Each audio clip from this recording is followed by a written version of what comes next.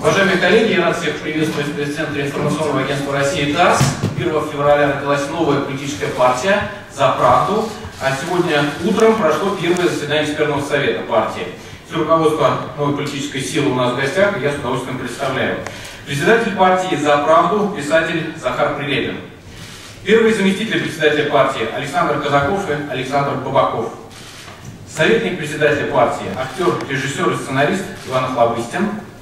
Члены экспертного совета Олег Матвеевичев, Сергей Михеев и Дмитрий Пещальников.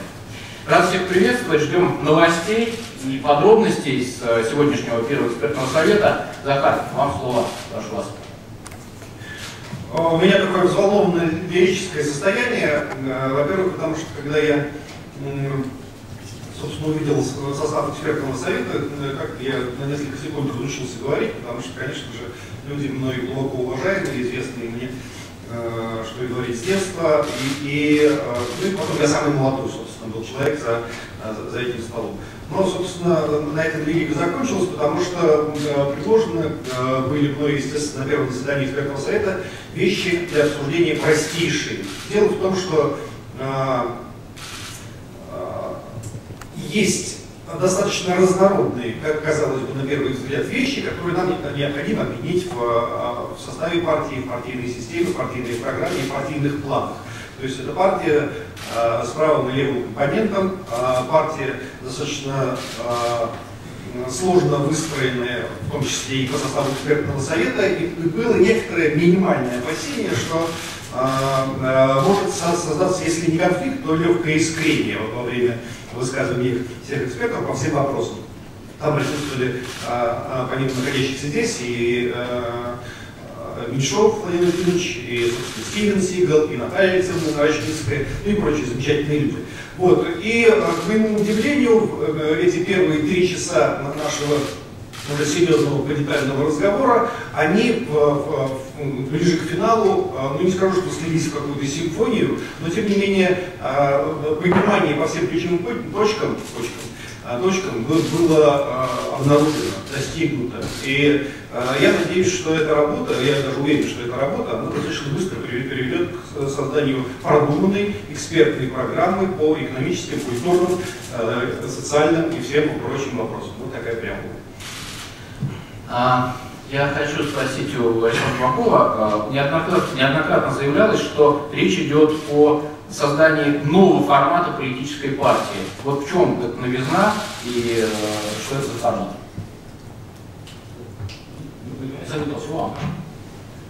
Ну, если говорить о новой партии, то мы должны понимать сегодня сказанное уже.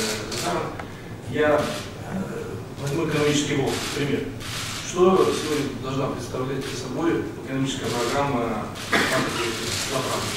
Конечно же, это возможно, некий аналог того, что существует в классическом понимании, но все-таки мы партия, которая заявляет совершенно новые взгляды, в том числе и на экономические аспекты. Вот. Э, пока из того, что мы можем анализировать и говорить о своей собственной программе, недостатком пока вот предложения является понимание того, той экономической модели, в которой мы живем. Народ э, должен услышать, в том числе, если есть правду о том, каким образом называется наша страна, это не вопрос политический, это вопрос функциональный. Если мы понимаем, по каким законам должна развиваться экономика и развивается, то это облегчит нам жизнь э, с точки зрения принятия уже закона в Государственной Думе, который либо поддержит правильное понимание объективных экономических законов, либо создадут проблемы на их развитие, на пути их развития. Если мы говорим о правде в экономике, мы должны четко обозначить, что ждет от нас бизнес, защиту своих интересов или же нагрузку налоговую или иную. Цели этой нагрузки, направленные на реализацию тех масштабных задач, которые уже сегодня стоят перед страной или в дальнейшем стоять. Э, какова роль каждого из, каждого из участников этого экономического процесса, но в основе, повторюсь, должно лежать четкое понимание той экономической модели, которую мы планируем и планируем развивать. Поэтому сегодня был рад, что на экспертном совете присутствовали разные специалисты, и преждевременно говорить уже о каких-то э, законченных э, структурных отделах всей программы, но то, что мы объявляем внутри партии и за ее пределами участия в написании этой программы, это прозвучало. А, теперь к Александру Казакову. А, вы знаете, вот за этим президиумом у нас а, часто появляются все парламентские партии, и все говорят, что их программа – это суть программа народная. Об этом говорит и Владимир Жириновский, и Геннадий Зюганов, и Сергей Миронов. Вы собираетесь писать программу вместе с народом и для народа. Да, вот как вы это собираетесь, собираетесь делать с точки зрения технологии, ну и с точки зрения смыслов также? Э, добрый день. Я э, два других слова скажу, потому что эта идея Татьяны Пеликина, и я решил, чтобы он сам... Ну, хорошо, вернемся. Да, лучше вернемся.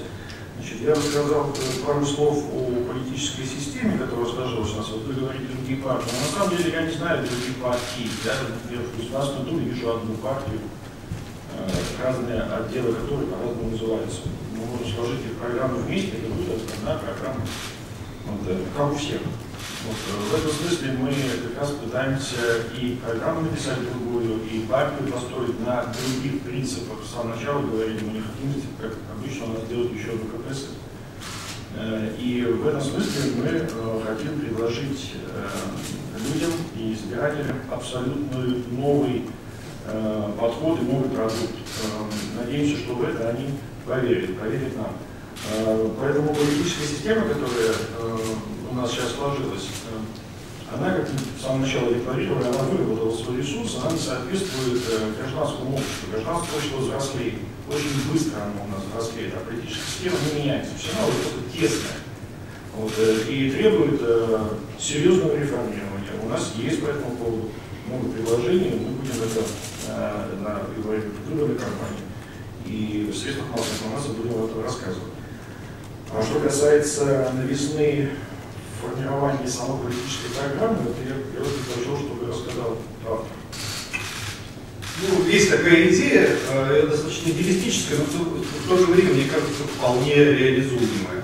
Дело в том, что а вот сейчас мы в, в составе нашего э, экспертного совета а, отработаем основные положения по всем направлениям программы, а потом, соответственно, будем обсуждать эту программу э, далеко не только собственно, в Москве и городах-миллионниках, а просто поедем с ней по стране и будем а, организовывать а, такие масштабные слушания в каждом регионе.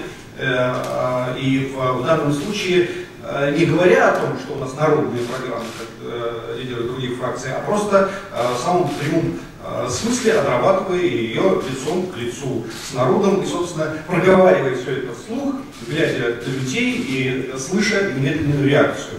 И, ну, в общем, посмотрим, как это будет получаться. В любом случае, мне хотелось бы э, вот этот прямой контакт, о котором все политики любят говорить, э, демонстрировать э, на, на, на, на живом примере. И, собственно, все наши э, основные э, ребята из члена экспертного совета, веселые ребята, все, все согласны этим заниматься и в этом смысле работать.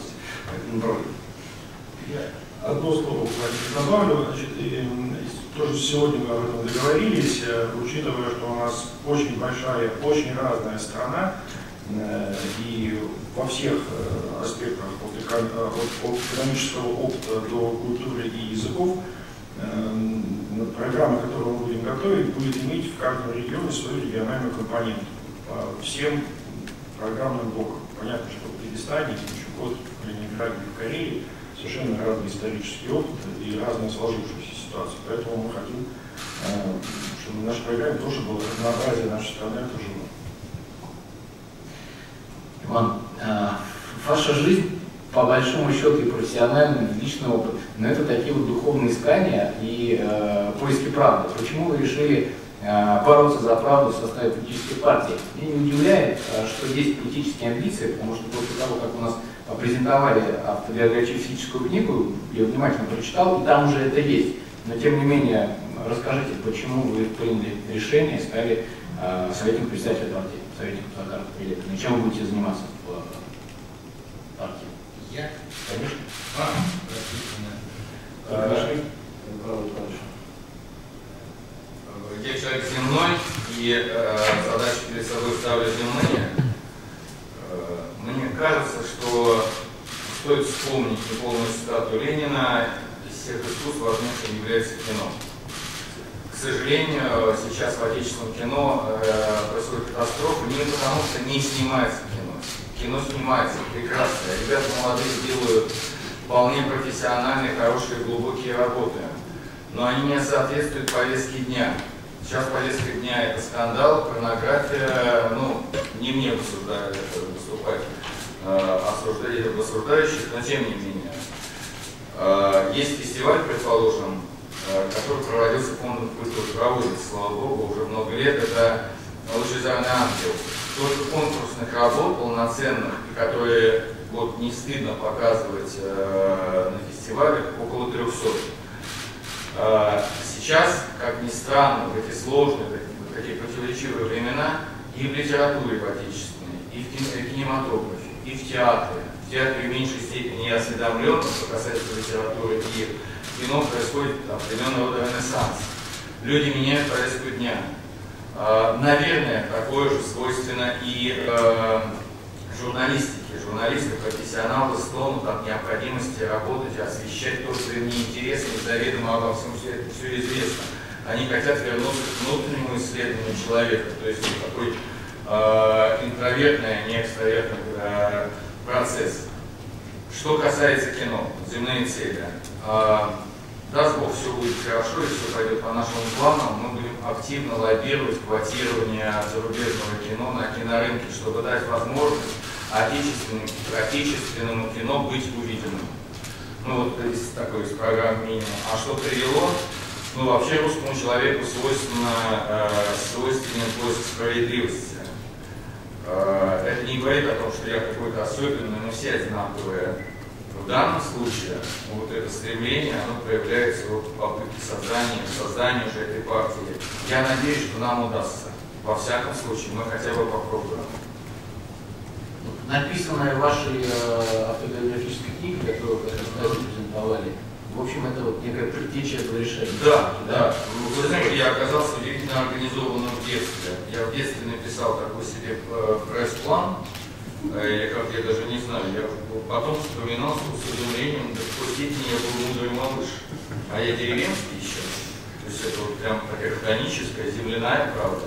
То, о чем Сурков упоминал, вот я один из представителей этого народа. Вот. А, и э, я как прозорливо вот тогда уже наметил.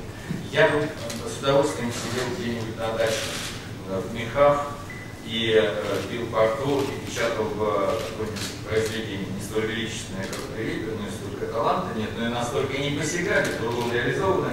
Но мне нельзя, я не могу себе этого позволить, потому что трезво осознаю уже в силу возраста, что каждый публичный человек, волей или неволей, несет определенного рода ответственность за ту аудиторию, которая мне нравится, потому что он выражает мнение этой аудитории. Я знаю часть своей аудитории, это прекрасные глубокие люди. А, я не имею права не участвовать. Я как священнослужитель не могу стать членом партии. Но у меня дочь стала членом партии. Наша семья читалась перед правдой. Вот, за правду читалась. Я же сделаю все, что возможно, чем могу быть полезен потому что верю находящимся здесь людям, да и ребятам, которые вот сейчас составляют костяк партии, э, с такими людьми хочется и идти вперед, и ты веришь, а авось прорвете. Как всегда в политике атака живых мертвецов, но э, мы хотя бы попытаемся. Спасибо. Следующий вопрос к члену экспертного совета Олегу Матвеевичу. Э, понятно, что э, главная, наверное, цель – это участие и результат э, на выборах, э, как э, вы будете реализовывать все в те не большие сроки, не так много времени, чтобы успеть этот результат добиться, успеть этот результат получить? На сегодняшнем заседании экспертного совета выборная тема даже не принималась. Принималась косвенно, я скажу немножко как, в каком контексте. А, основное, э, что нужно было первый раз, это договориться. И а, мы, вот, разные люди, несколько докторов наук у нас сидело, э, значит, Оскароносец Меньшов, да, и Стивен Сигал, и э, люди другие, э, которые в каждой своей отрасли сделал достаточно много, написал много книг, известен, и тем не менее нашли общий язык. И над нами вот этот дух правды, он, что называется, летал. Что я здесь имею в виду? Русское слово «правда», оно не переводится на другие языки. Потому что именно в русском языке оно включает два смысла. Один смысл а, правда как истина, противоположность всевозможной лжи, какому-то запутыванию, многословию часто, а, неясности а, и так далее. И с другой стороны, смысл справедливости. Справедливости, опять же, понятая не только с точки зрения формального законодательства, как это часто понимается в других языках, а высшей справедливости, высшего такого суда, э, нравственности. И в этом смысле справедливость, она противоположна безнравственности, беспределу, значит, и э, вот неравенству какому-то возможности, состояния и так далее. И э, когда вот этот принцип правды, э, все э, участники нашего экспертного совета собираются проводить через свои, свой вклад, который они будут вносить в программные документы партии и в том числе предвыборные документы партии. То есть, если мы говорим про экономику, мы будем говорить правду об экономике. Если мы говорим про образование и культуру, мы говорить будем правду об образовании и культуре, ничего не замыслить. Даже про дипломатию мы сегодня подвергали критике, э, значит, даже э, дипломатические успехи, скажем так, нашей страны за некую недостаточную их успешность. Да? И э, тут тоже будем говорить правду. То есть э, говорить э, самым э, шершавым языком, э, самым э, неполиткорректным языком будем говорить эти вещи. И э, когда мы будем эту правду говорить, у нас исчезнет противоречие, которое часто существует, э, вот если переходить уже к вопросу, собственно, о выборных кампаниях, между языком экспертов и языком людей. Э, у большинства партий, да не у большинства, у всех партий в нашей стране существует очень четкий зазор, что есть э, уровень, на котором мы разговариваем между собой, это экспертные оценки, это вот ученые, которые там что-то говорят, а есть то, что э, нужно объяснять э, народу или еще более грубым словом, на пеклу. Когда, ну разве можно, он разве сложные слова поймет, он же не поймет никогда. Вот э, наши сложные теории. Поэтому им нужно там пообещать хлеба, пообещать зрелищ, пообещать еще чего-нибудь такого простого. Всем зарплату поднимем, всем пенсии поднимем. И вот вам правда наша. Вы же этого хотите, вы же хотите пенсии, чтобы поднять. Ну вот мы вам пообещаем пенсии поднять. Да. Вот. И вот такая правда нам не нужна. Мы а, будем говорить сложные вещи, но будем говорить их просто. И у нас а, вот этого зазора, то есть врать людям мы не собираемся. И когда мы собираемся с людьми встречаться и обсуждать, мы будем презентовать концепции, разъяснять и получать от них уже вот, что называется, обратную связь, экспертную оценку. Это будет одна из а, основных, а, ну скажем так, технологий, если угодно это слово, э, выбранных компаний, постоянный диалог а, с людьми и а, донесение а, до людей а, правды о всех а, отраслях а, того, что у нас происходит, ну и, собственно, куда мы идем, потому что движение э, ни одно, опять же, на стране не имеет нормальной четкой идеологии. Мы можем э, какое-то смутное представление иметь о том, что у нас хочет там, ЛДПР или, допустим, там, КПРФ и так далее, другие партии, но нужно четко говорить, кто мы, откуда вообще взялись, какая тысячелетняя история за нами стоит что с нами сейчас и куда мы идем. Нужно четко обозначить э, вот эти самые цели, и мы их собираемся э, четко обозначить. Народ просит идеологии, народ просит э, обозначить дорожную карту и цели, мы собираемся это сделать и не лукавить, как это делают э, провластные и даже антивластные партии, э, которые вечно все скрывают. Вот, собственно, этим способом мы и собираемся побеждать народ. Спасибо. Сергей Михеев также член экспертного совета, и я вас хочу спросить как раз про идеологию. А, вот после того, как а, социализм на территории Советского Союза себя исчерпал, а, были попытки найти счастье и правду в либеральной модели, сейчас период суверенной демократии, много, много разных форматов, которые мы примерили. все-таки в чем будет заключаться идеология новой политической силы? Я как раз про идеологию пока до конца не знаю. Идеология находится, в формировании. А, если говорить э, немножко, немножко шире, то а, я считаю, что действительно э, серьезной и амбициозной задачей для тех, кто считается политической элитой, интеллектуальной творчеством в России, является задача нахождения такого оптимального существования России, такой оптимальной формы, которая бы резонировала с тем, что есть в душе большинства населения. То есть, грубо говоря, наши попытки э, после распада Союза э, построить что-то как на Западе, или как на Востоке, или как на Севере, или как на Юге, они абсолютно бесплодные, они бессмысленные попытка из себя строить, так сказать, э, тех, кем мы не являемся, попытка из себя меня как бы ломать, да, она бессмысленная, тупиковая, и это такое кривляние, по большому счету. Я считаю, что мы достаточно много лет занимаемся вот таким вот непонятным кривлянием, да. То мы как, э, э, значит, вот эти, то мы как те. Нам надо найти себя, и в этом смысле как раз для политической элиты важно найти такую форму существования, которая бы, а, отвечала бы нашему историческому архетипу, Э, э, культурному э, самоощущению народа, базовому мировоззрению, религиозным традициям, ощущением того, что есть справедливость, солидарность и правда, в конце концов. Вот когда мы найдем подобный, подобный сказать, консенсус, когда мы найдем что-то, что для нас, понимаете, для нас наиболее органично и одновременно эффективно, вот это и будет действительно настоящий результат. Вот это должна быть творческая задача для всех, кто считает, что он хочет для России чего-то хорошего, на самом деле. А не, не пытаться говорить, а вот вы знаете, вот у нас вот так вот, а вот вы знаете, как там в Голландии, или знаете, как в Японии.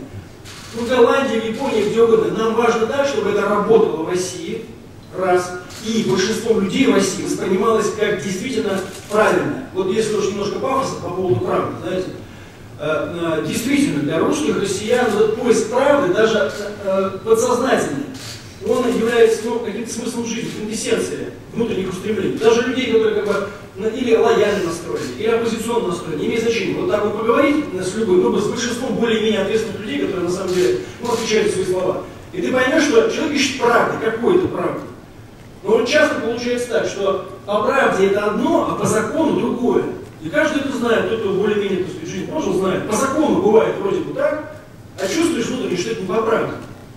Вот идеальная цель это так, чтобы по закону и по правде было бы равно. Чтобы между по закону и по правде стоял бы знак равенства. Или, по крайней мере, попытаться к этому приблизиться. В этом смысле вот эта западная модель юридизма, знаете, так сказать, давайте из нас сделаем немцев, давайте, так сказать, напишем идеальных законов, которые, по которым все будет как на, на логарифмической линейке рассчитано, на мой взгляд, э, это вот попытки, которые мы э, в многовековой нашей истории э, делали не раз, и сейчас опять пытаемся делать, они показывают свою, свою ущербность. Почему? Потому что они такой категории, как душа, и в том числе как правда, не учитывают. Вот если стоит зачем-то идти в политику, то именно за этим, для того, чтобы между законом, по закону и по, и по правде был бы знак равенства. Вот к этому и надо стремиться. А уж какая идеология под это будет оформлена, прописана, на мой взгляд, это важно, конечно, да, но это, э, знаете, такое имя прилагательное. А в конечном счете цель должна быть именно такая. Нахождение вот этой действительно воспринимаемой большей частью населения как правда модели существования и развития России. Потому что я лично убежден, потому что Россия это, несомненно, суверенная автономная цивилизация, а не просто вот что-то там, что должно стать или как Восток, или как Запад. Вот и все. Спасибо.